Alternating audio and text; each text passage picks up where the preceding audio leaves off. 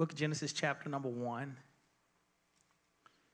going to try to get through this in a few minutes. I'm going to start at one, so guys, I know what, where we're going to end up where I told y'all uh, in media. but I need to address this right here. First and foremost, Bible says, Genesis 1 and 1, it says, In the beginning, God created the heavens and the earth. Verse 2 starts off saying what? Now. now. If there is a now, there had to be a then. So there's a whole lot missing between the first verse and now. Okay? It says, Now the earth was formless and empty. Darkness was over the face, over the surface, surface, surface. Sir, sir, sir. What is the word sir? S U R. I'm, I'm hearing something, but I can't see it. Look, look up the, the prefix sir. S U R.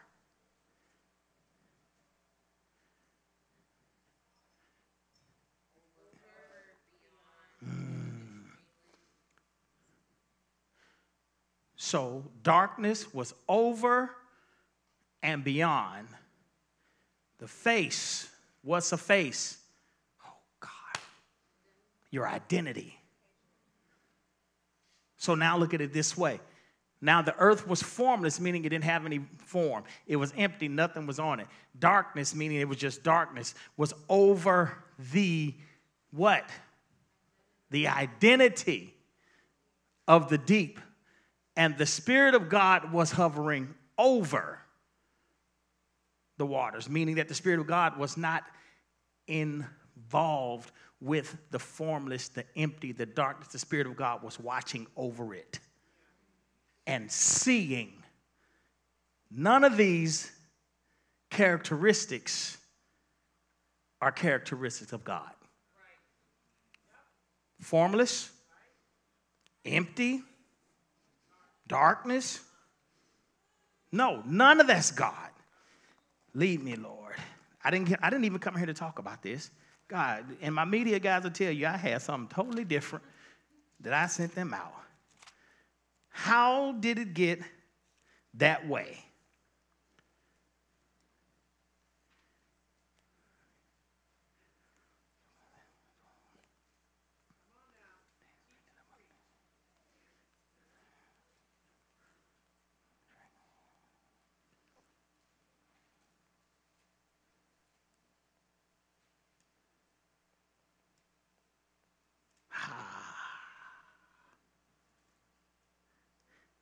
Revelations 13.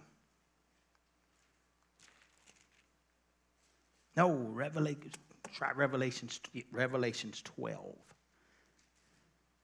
I'm going to show you what happened at the now.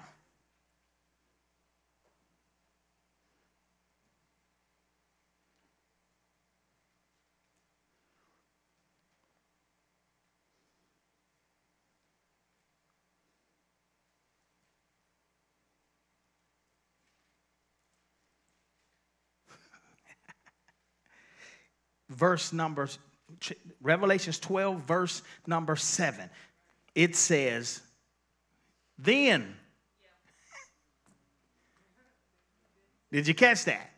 In order for there to be a now, there has to be what? It says, Then war broke out in heaven. Now let's go back to Genesis. Okay, Genesis 1. God, I just got excited, right? Genesis 1 says, In the beginning, God created the heaven and the earth, right? Boom. Then war broke out in heaven. Michael and his angels fought against the dragon, and the dragon and his angels also fought, but he could not prevail, and there was no place for them in heaven any longer. So the great dragon was thrown out, the ancient serpent, the ancient serpent, the ancient serpent, who is called the devil slash Satan the one who deceives the world. He was thrown to earth. and his angels with him.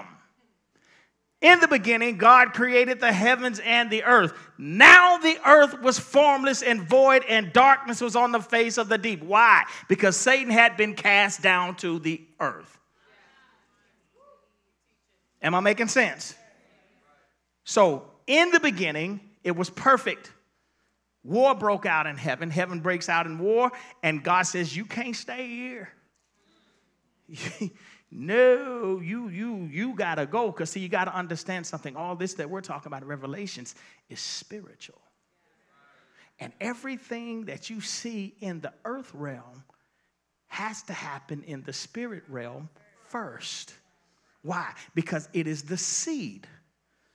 It's just like if you ever wrote a play, if you ever wrote anything, you write it out first, and then you see it act it out. And when, thank you, God, when you write it out, you're writing what? A script. We read what? Scripture. So we're basically just acting out what's already written. So if it is written that you're the head and not the tail, ask yourself, why am I breaking character? if it is written that I'm above and not beneath, ask yourself, am I, if, am I acting the right part? Am I extra in this? Or, or am I a main character? Oh, God, you are amazing, I'm telling you. So he says, Now the earth is formless, void. You see all of that, right? And then watch this darkness hovered over the face of the deep. Then God said, Let there be light, and there was light. God saw that the light was good, and he separated the light from the darkness. God called the light day, and he called the darkness night. Capital let evening came, and then morning, the first day. So most people believe when God said, Let there be light, that it came bright outside. And when you ask people what gives outside its light, it's the sun. When you ask what gives the moon its light, it's the sun. So when most people reading, you've probably been in church 40, 50 years and have blown over all of this, and we ain't even out the first three verses yet of the Bible. He said, Let there be light. The fact is, it wasn't the sun. It did not get bright outside because the sun wasn't created till the fourth day. The moon wasn't created till the fourth day. So when you go back and says darkness, he called night. Hebrew word for light is knowledge. Hebrew word for darkness is ignorance. So he is saying, let there be light. He is saying, let there be knowledge. And then watch this. It says he separated the light from the dark. When you have light and dark mixed together, you have confusion. He's not talking, there's no such thing as separating this light from a dark room because as soon as you turn that light on, the darkness is not there. So, what he was doing, he was saying, look, all of this messed up truth is a whole lie. You can have 99% truth and 1% lie makes it a whole lie. And he says, I'm going to separate the light from the darkness. If you go into the book of John, it talks about in the beginning was the Word, and the Word was with God, and the Word was God, and the Word became flesh. And it says, and he separated the light from the darkness. Then it says, and darkness comprehended it not. To comprehend means to be thinking. So that's the enemy's flat out saying, wait a minute, how in the world did this just happen? Hello, somebody. So when God created man, he said, watch this. And I've said this before, but I just love how this flow. When, when he created the fish, he spoke to the water. When he created the plants, he spoke to the ground. When he created the birds, he spoke to the sky. But when he created man, he spoke to himself. He said, Let us make man in our image. Right? And when he placed man on earth, he says, I give you all power, all authority, all dominion, rule the earth. Plants can't even, nothing happens without you. You own everything. Henceforth, the reason why you got all these binding and loosing, binding and loosing, y'all misusing that because that ain't got nothing to do with what we doing it for. When he says, Whatsoever you bind in earth, we bind in heaven. Whatsoever you loose on earth, we loose in heaven. That's him saying, You got power of attorney on earth. Whatever you allow on earth, that's what we gonna allow in heaven. So on earth, if you say gay marriage is right, heaven gonna say, well, that's their spot. We ain't gonna fight against it because he's in authority there. Uh oh. It's the reason why he says, Behold, I stand at the door and knock. When you got a key, you don't have to knock. When you live there, you don't have to knock. He says, I'm asking for permission to come into a, a, an earthly realm that I gave you. And he said, he said, the only thing above my name is my word. So because I left you in control, I'm not going to do anything in the earth realm without a man. When I say man, I'm not talking gender, I'm talking human. Because man is the species male and female are the genders.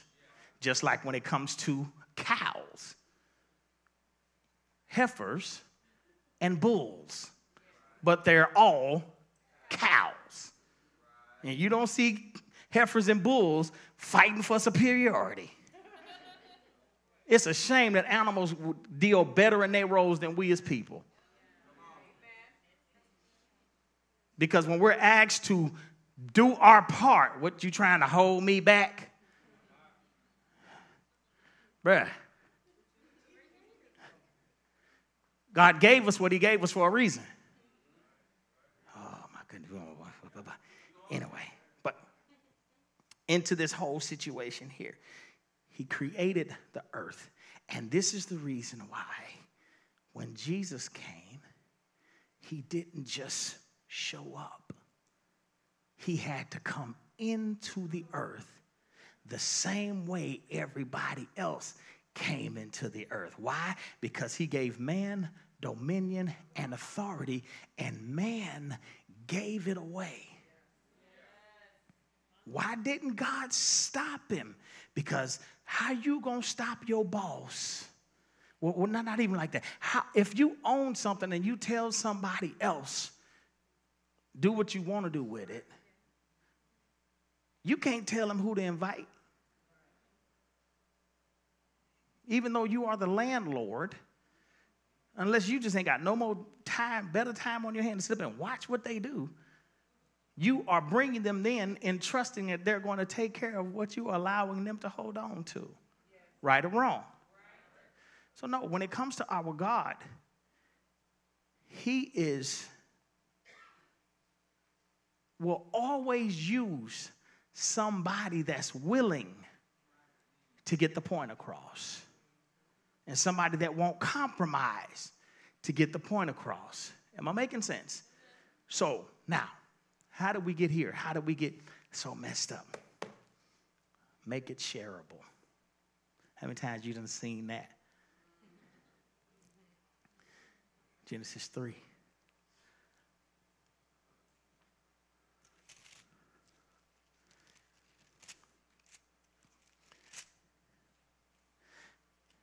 Oh, didn't we just talk about the mighty serpent in Revelations. So, what you're seeing in Genesis is the earthly manifestation of what took place in the spirit. Do you see that? Here it is. Now, the then was in Revelations chapter number 12. Do you you done forgot already? Let me finna show you.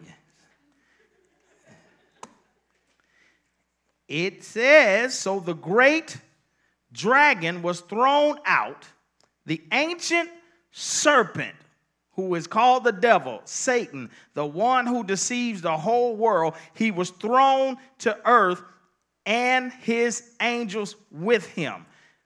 Now, the serpent was the most cunning of all wild animals. You see how that flowed right there? Now, the serpent is the most cunning of all wild animals that the Lord God had made. He had said to the woman, Did God really say you can't eat from any tree in the garden? That leads me right there to believe number one Thank you, God.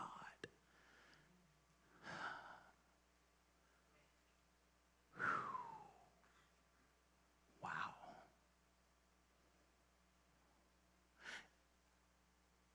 Either he was listening when God gave Adam that instruction,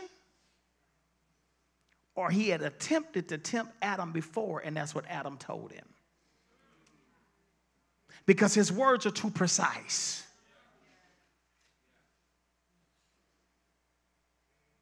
See, you gotta you, you, you gotta seek God for revelation for his word because a lot of times when you see it, you don't see it.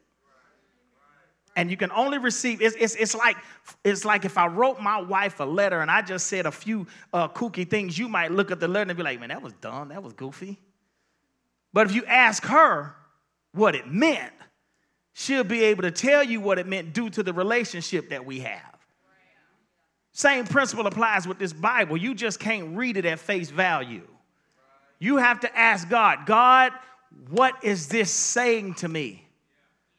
God, what's what what out of all of the everybody didn't write down everything. So it's got to be some stuff that I'm not seeing. And that's where revelation comes from. And in th- these days, you have to be very careful with that because people will make up a short story that ain't got no biblical context whatsoever. Now, he said the serpent was more cunning than anything. He said, Did God say you can't eat from any tree in the garden? The woman said to the serpent, We may eat the fruit from the trees in the garden, but about the fruit in the middle of the garden, God said, You must not eat or touch it, or you will die. She gave up the whole code. Because, see, what the enemy does is fish. I don't know the whole truth, but where was you at yesterday? Why you go there? What was on your mind? Most people I know only go there when they feeling, oh, is something wrong with you? See, you be better be careful all of these fishy people. And, and, and you better be careful of being a fishy person. We, we, you know, around here, we don't just deal with the people that's coming after us. We got snakes that do what they do right in the church and don't even realize it. We're not, we're not victims here. Oh, I get so sick of that boy. The reason why God cut your friendship off is because he knew what they were saying behind closed doors about you. Well, what did, he cut them off because what you said? Stop acting like God closing doors because what everybody doing to you. Every, no, you done done some messy stuff too. He may be cutting you off from hurting them. That's where humility comes from. Got to be humble, man. All of us got stuff that stink. And think God shows no favoritism. I read it about five times in the word. He's no favoritism. So you can't sit God on nobody. God gonna get him. He might not.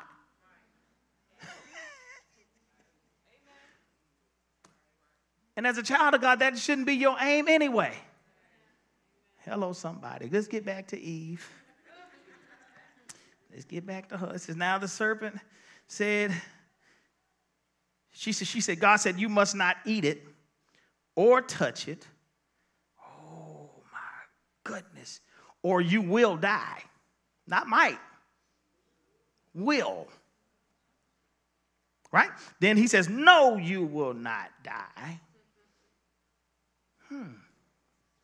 Oh, ooh, the serpent said to the woman, In fact, God knows that when you eat it, your eyes will be opened and you will be like God, knowing good and evil. Then the woman saw that the tree was good for food and delightful to look at. Oh, good for food and delightful to look at. Most of y'all pick your mates because they're delightful to look at. No substance, but delightful to look at.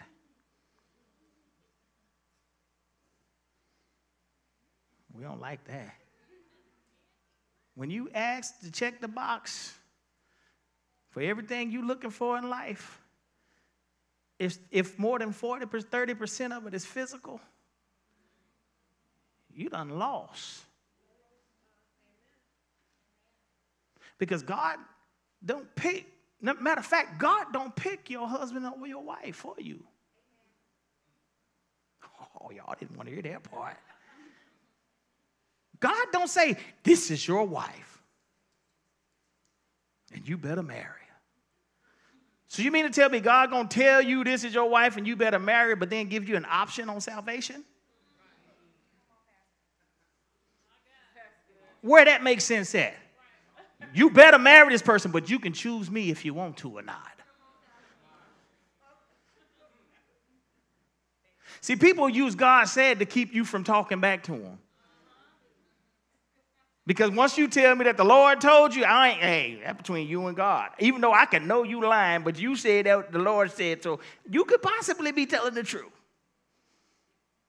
I'm not going to fight with that.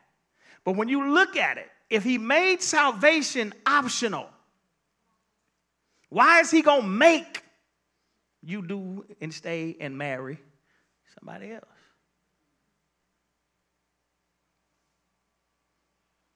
Oh, wow. Somebody said, oh. Lord, I just need you to send me. I did. But he wasn't delightful to look at.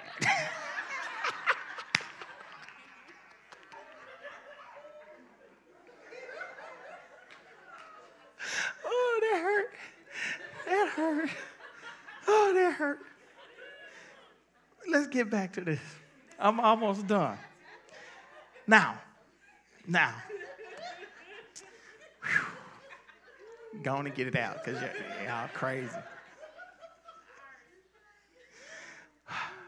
See, I'm trying to give some people a chance. You're trying to give people a chance because we're missing out on quality people. Because they don't fit a certain description that could be changed in a car wreck.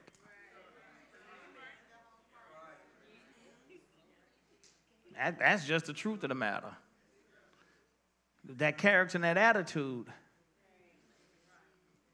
Uh, not even a car wreck gonna change a bad attitude. It might no, it might might make it worse.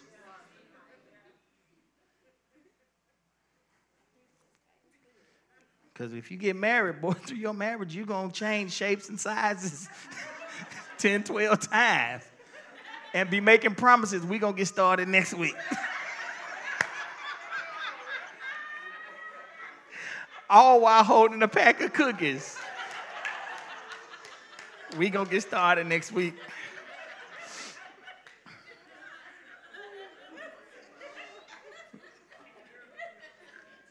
And when you get that oh well spirit, oh well. as long as both of us saying oh well, we all right. Hello, somebody. Now, the devil flat out called God a lie. But I want to show you how tricky he is. In Revelations, it said the dragon what's bigger, a dragon or a snake? So in Genesis, he presents himself smaller than what he really is. he know behind this door is a whole dragon tail because the Bible says his tail swept a third of the angels. And a lot of men, some tail swept you.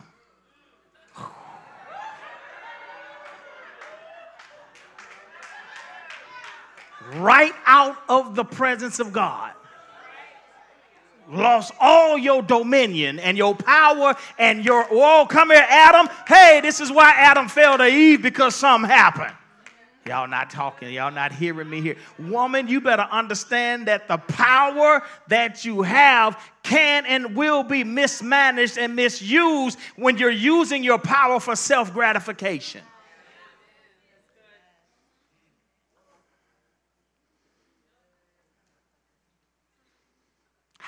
Is it that a man can get a woman to pimp herself out? People can say that's crazy all they want to, but you don't know where that woman is and what has happened to her in her life. And nine times out of ten, what may have happened to her in her life was the instability of a covering called the dad. So it all goes right back to the man. Oh, God, I'm not trying to go in here. Okay, I'm going to stay focused. Y'all want me to go there, but I ain't going there. Oh, no, no, no, no, no, no. We're going to stay focused. He called God a lie. He said, No, you will not die. The serpent said, In fact, God knows that when you eat it, your eyes will become open, and you. Now, hold on, devil. Since you know all of this, how come you didn't know what God said? You know all of the answers now that I've given you a clue, but you didn't know what God said. Hmm, right? And so she looked at the tree and saw that it was good for food and it was delightful to look at. She took it, she ate it and then she gave it to her husband with her. Tell somebody you can't share everything. Because where the revelation is for tonight, this tree was not a physical tree.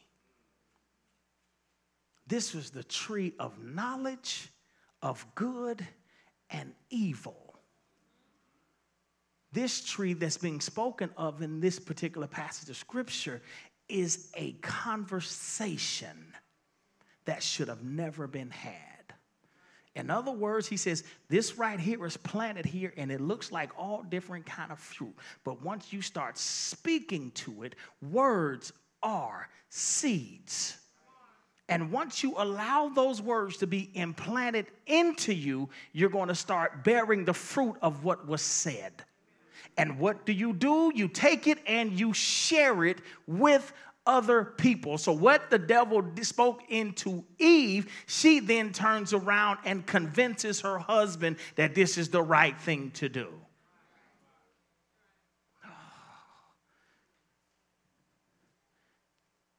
Food, your spirit is eating 24 7.